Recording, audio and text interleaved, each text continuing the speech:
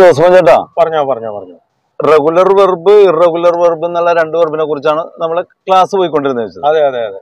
അപ്പൊ ഈ irregular verb എന്ന് പറയുമ്പോൾ റെഗുലർ വെർബിനെ അപേക്ഷിച്ച്. വ്യത്യാസമായിരിക്കുമല്ല വ്യത്യാസം ആദ്യത്തെ അല്ല രണ്ടാമത്തെ മൂന്നാമത്തെ. വെർബിന് മൂന്ന് അവസ്ഥയുണ്ടെന്നല്ലേ പറഞ്ഞ? മൂന്ന് അവസ്ഥകൾ ആ അവസ്ഥകൾക്ക് പേരുണ്ട്. അതൊന്നും അതൊന്ന് ശ്രദ്ധിക്കണം. Present tense past tense past participle ആ ഒന്ന് ശ്രദ്ധിക്കാൻ പറ്റില്ല എന്താണ് പ്രസന്റ് ടെൻസ് എന്താണ് പാസ്റ്റ് ടെൻസ് എന്താണ് പാസ്റ്റ് പാർട്ടിസിപ്പിൾ എന്നുള്ളത് നമുക്ക് അടുത്ത ടെൻസസ് എന്ന് പറഞ്ഞൊരു ലെസൺ പഠിക്കും. വരുമല്ല അന്നേരം പറഞ്ഞുതരാം. അപ്പൊ ഈ മൂന്ന് പേര് ഓർക്കാനായിട്ട് ഇത്തിരി ബുദ്ധിമുട്ടായതുകൊണ്ട് ഇപ്പൊ മോഡേൺ ഗ്രാമേറിയൻസ് അതിന് എളുപ്പ പണി കൊടുത്തിട്ടുണ്ട്. അപ്പൊ ഈ present tense past tense past participle എന്ന് പറയാനൊക്കെ ഇത്തിരി ബുദ്ധിമുട്ടുള്ളതുകൊണ്ട് എളുപ്പ വിദ്യക്ക് വേണ്ടിയിട്ട് ഇവർ മൂന്ന് പേര് സിമ്പിൾ പേര് കൊടുത്തേക്കുന്നത്. Verb one verb two verb three എന്ന് പറഞ്ഞ് പേര് കൊടുത്തിട്ടുണ്ട്. അപ്പൊ പിന്നെ ഇനി verb one verb two verb three എന്ന് പറയാനുള്ള ബുദ്ധിമുട്ടുണ്ട് അവർ എളുപ്പത്തിൽ V one V two. V three എന്നാക്കിയിട്ടുണ്ട് അതാണ് വി വണ്ണും വി ടുവും വി ത്രീ അല്ലേ. ആക്ച്വലി അത് അഞ്ചെണ്ണം ഉണ്ട്. V one V two V three V four V five ഉണ്ട്. അതെന്താണെന്ന് വേറൊരു ലെസണിൽ പറയും. തൽക്കാലം നമ്മൾ ആദ്യത്തെ ഈ V one V two V three ആണ് പഠിക്കാൻ പോകുന്നത്. മഴ വരുമോ മഴ മഴ വരും. വരുമല്ലേ മഴ വരും. ഏ വരാൻ സാധ്യത ഇല്ല അല്ലേ? വരാൻ ഇല്ല ഇല്ല വരാൻ സാധ്യതയില്ല. അല്ല ഏതെങ്കിലും ഒന്നിൽ ഉറച്ച് എന്നാ വരാൻ സാധ്യത ഇല്ല ഇല്ല അപ്പൊ വരാൻ മഴ വരാൻ സാധ്യതയില്ല വരാൻ സാധ്യതയില്ല. നമ്മൾ പഠിക്കുന്നത് എട്ട് പാർട്സ് ഓഫ് സ്പീച്ച് ആണെന്ന് ഓർക്കണം. അതിൽ മൂന്നെണ്ണം ആദ്യമേ പറഞ്ഞു കഴിഞ്ഞു. നാലാമത്തത് വെർബാണെന്ന് ഓർക്കണം. വെർബിൽ തന്നെ ആദ്യത്തെ ഐറ്റം റെഗുലർ വെർബ് രണ്ടാമത്തത് ഇറഗുലർ വെർബ് ഇറഗുലർ അത് പറയാൻ നല്ല സുഖമുണ്ട്. വണ്ടി ഓടിക്കണ പോലെ. പറഞ്ഞാൽ മതി. ഇറഗുലർ എന്ന് പറഞ്ഞാൽ മതി. ഇനി ആരും മറക്കൂല. ഇറഗുലർ വെർബ് എന്ന് പറഞ്ഞാൽ സ്പെല്ലിങ് ഞാൻ എഴുതി കാണിച്ചു തരാം. റെഗുലർ വെർബ് ഇറഗുലർ ഓക്കെ ഈ റെഗുലർ വെർബ് എന്ന് പറഞ്ഞാൽ പാവമാണ്. ഇ ഡി ചേർത്ത് കൊടുത്താൽ മതി. വി വണ്ണിൽ ഇ ഡി ഉണ്ടാവില്ല വി ടൂയിൽ ഇ ഡി ഉണ്ടാവും. വി ത്രീയിലും ഇ ഡി ഉണ്ടാവും. അതാണ് എക്സാമ്പിൾ ഒക്കെ പറഞ്ഞു കഴിഞ്ഞു. പല പ്രാവശ്യം പറഞ്ഞു കഴിഞ്ഞു. Like liked liked liked look ആണെങ്കിലാ? Look looked looked looked. അപ്പൊ സിമ്പിൾ ആണ് അത് വളരെ വളരെ സിമ്പിൾ ആണ് സിമ്പിൾ ആണ്. ഇനി ആ പാവത്തിനെ അങ്ങോട്ട് ഉപേക്ഷിക്കാം. ഏത് ആരെ? ഈ റെഗുലർ വെർബിനെ അങ്ങോട്ട് ഉപേക്ഷിക്കാം. റെഗുലർ വെർബിനെ ഓക്കെ മറ്റവനാണ് സാധനം. ഇറഗുലർ വെർബ് ഉണ്ടല്ലോ. അത് ചിലപ്പോ കാണാതെ കുറച്ച് വേർഡുകൾ പഠിക്കേണ്ടി വരും. കുറെ വേട് പഠിക്കേണ്ടി വരും. അല്ലെങ്കിൽ നമ്മൾ കുഴിച്ചാടും ചില സമയത്ത്. ആ അത് പഠിക്കണം കേട്ടോ. കുറച്ച് നമ്മൾ മനഃപൂർവം കാണാതെ പഠിക്കണം അല്ലെ? കാണാതെ പഠിച്ചാൽ നല്ലതാണ് കേട്ടോ. ചില സമയത്ത് നമുക്ക് ചില സമയത്ത് പറയാൻ കിട്ടാണ്ടായി പോകും. ആ അല്ല അത് പഠിക്കുക അത് പഠിക്കുക. ഇതിലൊരു ലിസ്റ്റ് ഉണ്ട്. നിങ്ങൾ നെറ്റിൽ തപ്പണം. നെറ്റിൽ ഗൂഗിൾ എടുത്തിട്ട് ലിസ്റ്റ് ഓഫ് ഇറഗുലർ വെർബ്സ് എന്ന് അടിച്ചു കഴിഞ്ഞിട്ടുണ്ടെങ്കിൽ ഒരു ഇരുന്നൂറ്റമ്പതിലധികം ഇറഗുലർ വെർബിന്റെ ലിസ്റ്റ് വരും. ആ. ലിസ്റ്റ് നിങ്ങൾ നോക്കിയിട്ട് അതിൽ നിന്ന് നിങ്ങൾക്ക് ഇഷ്ടപ്പെട്ടത് നിത്യജീവിതത്തിൽ ഉപയോഗിക്കുന്ന ഒരു ഇരുപതോ നാൽപ്പതോ എണ്ണം കാണാതെ പഠിച്ചാൽ കൊള്ളാം. ഇറഗുലർ വെർബ് ഇറഗുലർ വെർബ് ഇനി അത് എന്തുകൊണ്ടാണ് ഇറഗുലർ വെർബ് ആയതെന്ന് പറയാൻ വേണ്ടി അഞ്ചാറ് എക്സാമ്പിൾ ഞാൻ പറയാം. മഴവിന് മുമ്പ് പറയൂ. മഴക്ക് മുമ്പ് പറയാൻ പറ്റും. എന്നാ പറഞ്ഞു. ആ. ഞാൻ ഒരു നിത്യജീവിതത്തിൽ ഉപയോഗിക്കുന്ന ഒന്ന് രണ്ടെണ്ണം ഞാൻ പറയാം. പൊട്ടിക്കുക എന്നുള്ളതിന് ബ്രേക്ക് ആണ്.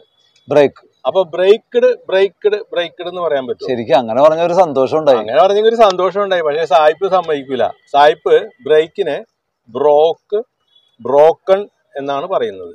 Break bro break broke broke broken. Broken അങ്ങനെയാണ് പറയുന്നത്. ഇനി കടയിൽ പോയി സാധനം വാങ്ങിക്കൊണ്ടുവരിക എന്നുള്ളതിന് ബൈ എന്നാണല്ലോ. ബൈ ബൈ ആണ്. അപ്പൊ ഞാൻ വാങ്ങിച്ചു എന്ന് പറയാൻ ബൈഡ് എന്ന് പറയാൻ സമ്മതിക്കൂല സായിപ്പ്. ബൈക്ക് ബോട്ട് ബോട്ട് എന്ന് പറയണം. ഈ ബോട്ട് എന്ന് വെച്ചാൽ വെള്ളത്തിൽ കൂടുന്ന ഓടുന്ന ബോട്ടിന്റെ സ്പെല്ലിങ്ങും അല്ല. B O U G H T bought എന്നാണ്. ബി ഒ ബി എ അല്ല. അല്ല.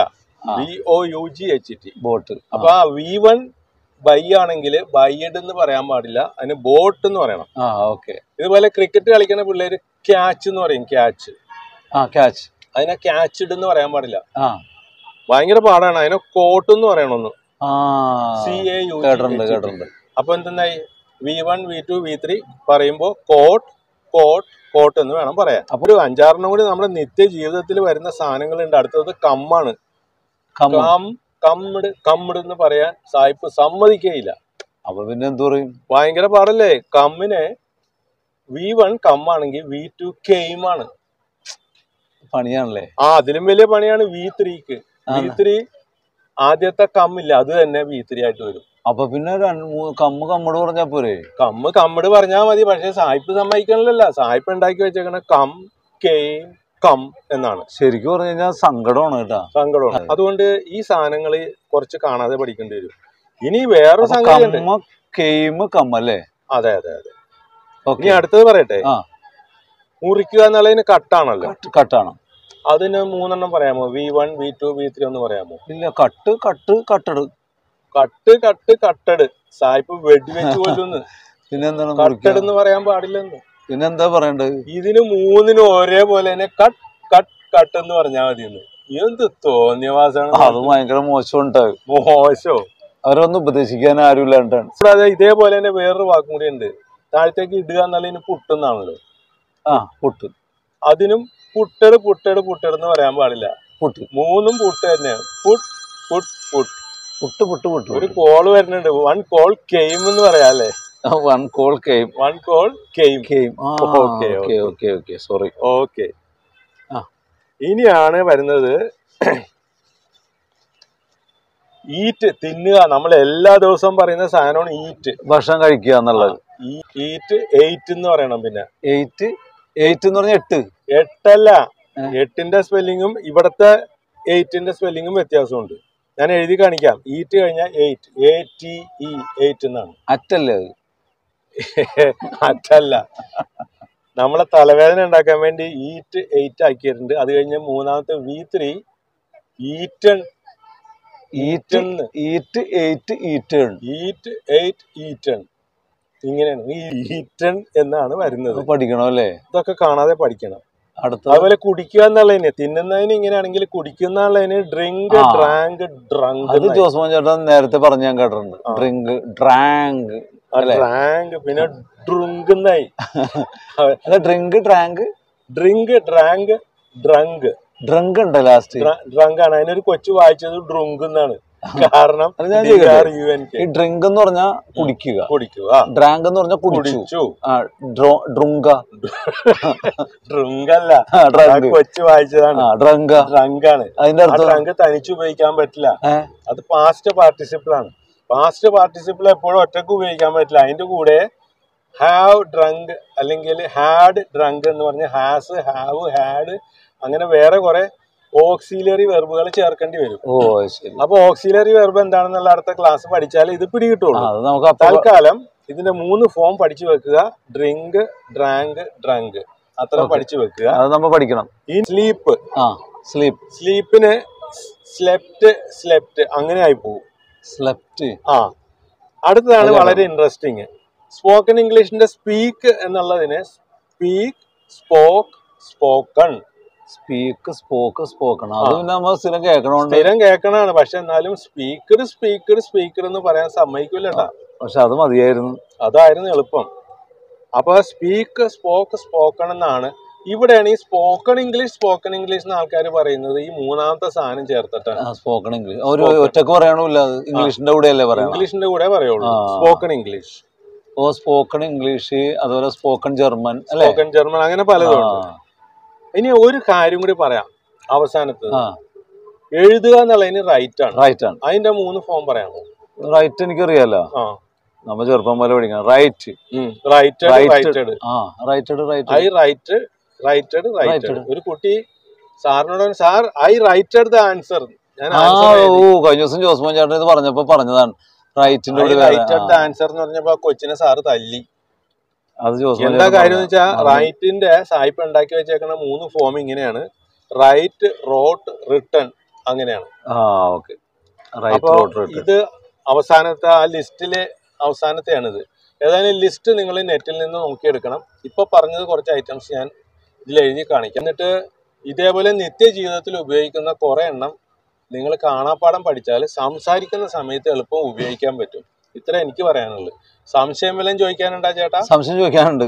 നമ്മൾ ഈ എല്ലാ ദിവസവും സംസാരിക്കുന്ന കുറച്ച് കാര്യങ്ങളിലെ കുറച്ച് കാര്യങ്ങൾ എനിക്ക് കഴിഞ്ഞ ക്ലാസ്സിൽ പറഞ്ഞു തന്നു കുറച്ച് കാര്യങ്ങളും കൂടി ചോദിക്കാനുണ്ട്. അത് എന്റെ കയ്യിലുള്ളത് പഴയ മൊബൈലാണ്. എന്ന് നമ്മൾ എങ്ങനെയാ പറയണ? എന്റെ കയ്യിലുള്ളത് പഴയ മൊബൈലാണ്. My mobile is very old എന്നങ്ങ് പറഞ്ഞാൽ മതി. ഇനി എന്റെ കയ്യിലുള്ളതെന്ന് പറയണോ? വേണ്ട. ഞാൻ ഉപയോഗിക്കണത് പഴയ മൊബൈലാണ് എന്താ കോൾ ചെയ്യുമ്പോൾ പല ആൾക്കാരും പറയും. എന്റെ കയ്യിലുള്ള പഴയ മൊബൈലാണ് അപ്പോൾ ഒരുപാട് സ്റ്റോറേജ് ഒന്നും ഇല്ല. അപ്പൊ ഡെയിലി ക്ലിയർ ചെയ്ത് ക്ലിയർ ചെയ്ത് ചാറ്റ് ക്ലിയർ ചെയ്ത് പോകണമെന്ന് പറയും. അപ്പം I am using old mobile എന്ന് പറഞ്ഞാൽ മതി. I am using I am using old mobile എന്ന് പറയുക. അല്ലാതെ എന്റെ കയ്യിൽ ഉള്ളത് അങ്ങനെ പറയണമെന്നില്ല ആവശ്യമില്ല. അങ്ങനെ പറയണമെന്നില്ല അല്ലെങ്കിൽ my mobile is very old so it is very difficult to store എന്നൊക്കെ പറഞ്ഞാൽ മതി. ഓക്കെ. അങ്ങനെ ചില ആൾക്കാർ ഇങ്ങനെ നമ്മൾ ഈ വാട്സപ്പ് കോൾ ചെയ്യുമ്പോഴേ നമ്മൾ ഗ്രൂപ്പ് കോൾ ചെയ്യുമ്പോഴൊക്കെ ആൾക്കാർ അങ്ങനെ പറയാറുണ്ട്. അതെ സംശയം വല്ലതും അടുത്തത് അടുത്തത് ചോദിക്കാനുള്ളത്. ഞാൻ ഉച്ച ഉച്ചയ്ക്ക് സാധാരണ രീതിയിൽ കോൾ ചെയ്യാറുണ്ട് ആളുകൾ തമ്മിൽ അപ്പൊ ഉച്ചയ്ക്ക് കോൾ വിളിക്കുമ്പോൾ ചില ആൾക്കാർ എടുക്കൂല. അവർ അവർ വൈകുന്നേരം വിളിക്കുമ്പോൾ പറയും ഞാൻ കുറച്ചു നേരം ഉറങ്ങണയായിരുന്നു എന്ന് പറയും അത് അവർക്ക് പറയാൻ അറിയാൻ പാടാത്തതുകൊണ്ട് അവർ പറയും ഞാൻ ലിറ്റിൽ ലിറ്റിൽ സ്ലീപ്പ് എന്ന് പറയും. ലിറ്റിൽ സ്ലീപ്പിലായിരുന്നു എന്ന് പറയും. ഐ വാസ് ലിറ്റിൽ സ്ലീപ്പ് എന്നൊക്കെ പറയും. ഞാൻ കുറച്ച് നേരം ഉറങ്ങണായിരുന്നു. അതിന് അതെങ്ങനെയാ നമ്മൾ പറയണത്? ഐ വാസ് സ്ലീപ്പിംഗ് എന്നങ്ങ് പറഞ്ഞാൽ മതി. ഞാൻ ഉറങ്ങുകയായിരുന്നു എന്ന് ഈ ഉച്ചയ്ക്ക് അങ്ങനെ ഉറങ്ങണതിന് ഉച്ചയ്ക്ക് ഉറങ്ങുന്നതിന് ഒരു ചെറിയ പേരുണ്ട്. നാപ്പ് എന്ന് പറയും. I was taking a nap എന്ന് പറയും. അത് അത് പറഞ്ഞാൽ മതിയല്ല? അത് പറഞ്ഞാൽ മതി. പക്ഷെ ഈ നാപ്പ് എന്ന് പറഞ്ഞാൽ എല്ലാവർക്കും പിടികിട്ടൂല. അപ്പൊ അത് കഴിഞ്ഞിട്ടേ അത് കഴിഞ്ഞിട്ട് കുറച്ചു നേരം ഞാൻ ചെടി നനക്കണയായിരുന്നു അതങ്ങനെ പറയും ചെടി നനക്കുകയായിരുന്നു. After after my sleep I was watering the plants അത്ര പറഞ്ഞാൽ മതി. മതി I was watering the plants ചെടി നനക്കണതിനെ watering the plants watering the plants എന്ന് പറഞ്ഞു കഴിഞ്ഞാൽ ചെടി നനക്കണത് അല്ലേ ആ വാട്ടർ എന്ന് പറഞ്ഞാൽ വെള്ളമാണല്ലോ. അത് വെറുബായിട്ടും ഉപയോഗിക്കുന്നുണ്ട്. Water water the plants okay. അപ്പൊ നിങ്ങൾ വിളിച്ചപ്പോൾ. നിങ്ങൾ വിളിച്ചപ്പോ ഞാൻ അടുക്കളയിൽ ഇങ്ങനെ പണിയിലായിരുന്നു എന്ന് പറയാം. അപ്പൊ അങ്ങനെ പറയാൻ പറ്റും പറയാം പറയാം പറയാം. When you called me I was in the kitchen എന്ന് പറഞ്ഞാൽ മതി.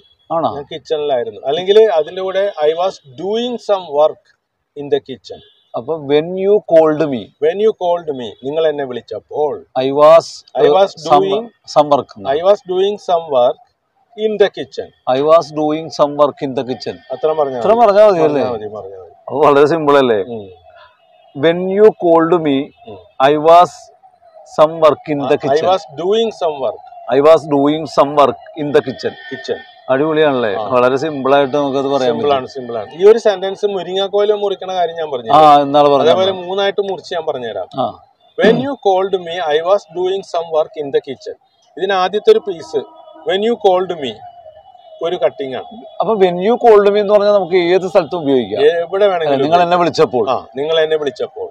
അപ്പൊ മുരിങ്ങാക്കോൽ ഞാൻ ഡ്രൈവ് ചെയ്യായിരുന്നു എന്നൊക്കെ പറയാം. നിങ്ങൾ എന്നെ വിളിച്ചപ്പോൾ I was I was driving okay. അതെ. അപ്പോ വെൻ യു കോൾഡ് മീ ഒരു പീസ് നമ്മൾ മുരിങ്ങാക്കോൽ മുറിച്ച് സഞ്ചിയിൽ കയറ്റുന്ന. ഉദാഹരണം. പല പീസ് ആക്കി തന്നിട്ടുണ്ടല്ലോ. ഇത് ആദ്യത്തെ piece when you called me ഒരാൾ വിളിക്കുന്നുണ്ട്. ഞാൻ പിന്നെ എടുത്തോളാം. Okay. Sorry. Okay when you called me എന്നുള്ള ആദ്യത്തെ piece I was doing some work I was I was doing some work അഞ്ചു വാക്കുണ്ടായി ആ അഞ്ചു വാക്കുണ്ടെങ്കിൽ അതൊരു കഷ്ണമായി. I was doing some work some work ആ. അപ്പൊ അത് രണ്ടാമത്തെ പീസായി ആ. പിന്നെ മൂന്നാമത്തെ piece in the kitchen in the kitchen I was doing some work അപ്പൊ when you called me I was doing some work in the kitchen okay അങ്ങനെ ചെറിയ ചെറിയ പീസ് ആയിട്ട് പറയണമെങ്കിൽ നമുക്ക് ഏത് സെന്റൻസും പറയാൻ എളുപ്പം കിട്ടും. അതായത് ഇത് ഒറ്റ ശ്വാസത്തിൽ when you called me I was doing some work in the kitchen എന്നങ്ങൾ പറയാൻ പോയാൽ നമുക്ക് ഇത്തിരി പാടായിരിക്കും. ഇംഗ്ലീഷ് സിനിമയിലെ ആൾക്കാർക്ക് പറ്റും. അല്ല അത് പറയാൻ രണ്ട് ദിവസം രണ്ട് പ്രാവശ്യത്തെ പ്രാക്ടീസ് ഉണ്ടെങ്കിൽ ആർക്കും പറയാം. ഇംഗ്ലീഷ് സിനിമയിൽ പറയുന്ന പോലെ ഒന്ന് പറയാമോ? പിന്നെ? When you me I was. ഞാൻ പഠിച്ചില്ലേ? നിങ്ങൾ പഠിച്ച് നിങ്ങൾ വല്ല ഇംഗ്ലീഷ് സിനിമയിൽ കേറും? അല്ല ഞാൻ പഠിച്ചൊക്കെ നിങ്ങൾക്ക് ഈസി ആയിട്ട് പഠിക്കാം. ലോകത്തെ ഏറ്റവും ലാസ്റ്റ് പഠിക്കുന്ന ആളാണ് ഞാൻ. ഏതെങ്കിലും സിനിമ ഡയറക്ടേഴ്സ് നമ്മുടെ ബേസിൽ ജോസഫ് ആരെങ്കിലും കാണുകയാണെങ്കിൽ ഇംഗ്ലീഷ് സിനിമ പിടിക്കണുണ്ടെങ്കിൽ ഈ ചേട്ടനെ ഒന്ന് വിളിക്കണേ. ഈ എന്നെ ചിലപ്പോ ഇംഗ്ലീഷ് സിനിമയിലായിരിക്കില്ല ഈ ഇംഗ്ലീഷ് സിനിമയിൽ മലയാളത്തിൽ ചിലപ്പോൾ വിളിച്ചേക്കും. ഇംഗ്ലീഷ് സിനിമയുടെ മലയാളത്തിലുള്ള ഡബിങ് കേട്ടിട്ടുണ്ടോ? അതെ. ഒരു ചെറിയൊരു കഷ്ണം പറയാം. ഇംഗ്ലീഷ് ക്ലാസ് ആണല്ലോ അപ്പൊ ആൾക്കാർക്ക് കേക്കട്ടെ അപ്പൊ രണ്ടുപേരും തമ്മിൽ സംസാരിക്കണേ. ഏ ജോർജ് എന്താണ് ഇവിടെ ചെയ്യുന്നത്? ഏ ആൽബർട്ട് ഞാനിവിടെ ഒരു കുഴി കുഴിക്കുകയാണ്. ഏയ് അവിടെ കുഴി കുഴിക്കാൻ പാടില്ല നിനക്ക് അറിയില്ലേ എവിടെ കുഴി കുഴിച്ചാൽ നിനക്ക് എന്താണ് പ്രശ്നം ഇങ്ങനെയാണ് അവർ ഇംഗ്ലീഷ് സിനിമ മലയാളത്തിലേക്ക് ഡബ് ചെയ്യും മലയാളത്തിലേക്ക്. എന്തിനാണ് അവരിങ്ങനെ ഈ അതിനാടകീയത ഉണ്ടാക്കണമെന്ന് എനിക്കറിയില്ല. ഇത് ഇംഗ്ലീഷിൽ പറയാൻ പറ്റുമോ? അത് എനിക്ക് പറയാൻ പറ്റില്ല. അത് ഇനി ഇത് ഇംഗ്ലീഷിൽ പറയണോ അത്? Rain is going to come so we are going to stop my dear friend